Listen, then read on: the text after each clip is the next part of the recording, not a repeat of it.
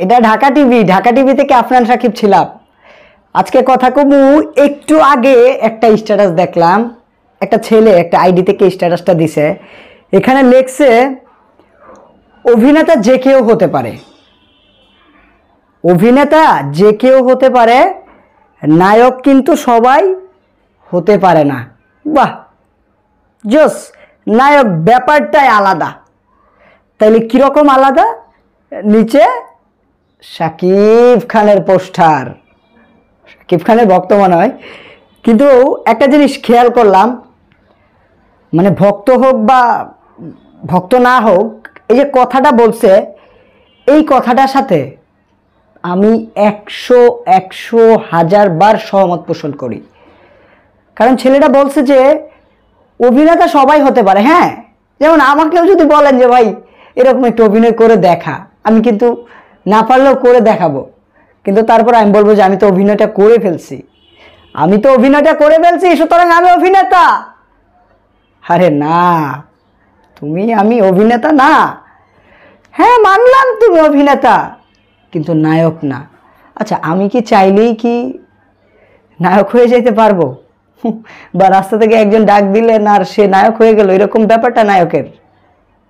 আরে ভাই, নায়ক তো হচ্ছে ওই রকম যাকে পুতুল বানানো যাবে, যাকে পুলিশ বানানো যাবে, যাকে ডিআইজি বানানো যাবে, যাকে যা ইচ্ছে যেই ক্যারেক্টার দরকার, সেই ক্যারেক্টারের সাথে একশো একশো ম্যাচিং করা যাবে।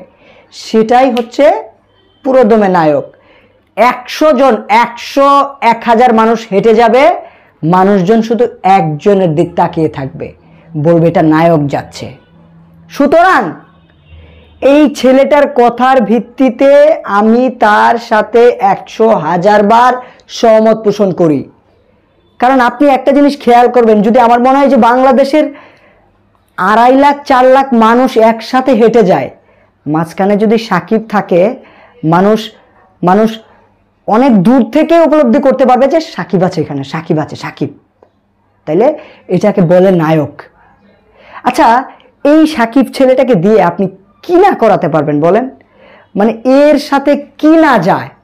আপনি যেই ক্যারেক্টার দিবেন, যেই প্রসেস দিবেন, যেই ধরনের ক্যাটাগরি দিবেন, সব কিছুতে মালটা পারফেক্ট মাল বললাম মাইন্ড করেন না?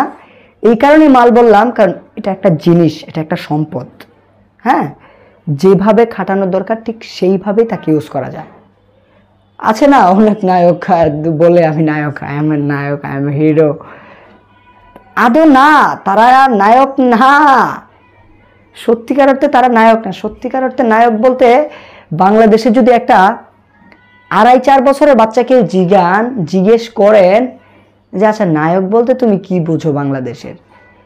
একটা কথা বলবে শুধু, একটা কথাই বলবে। আর সেটাই হচ্ছে যে, নায়ক বলতে যদি আমি কিছু বুঝে থাকি, সেটা হচ্ছে শাকিব খান।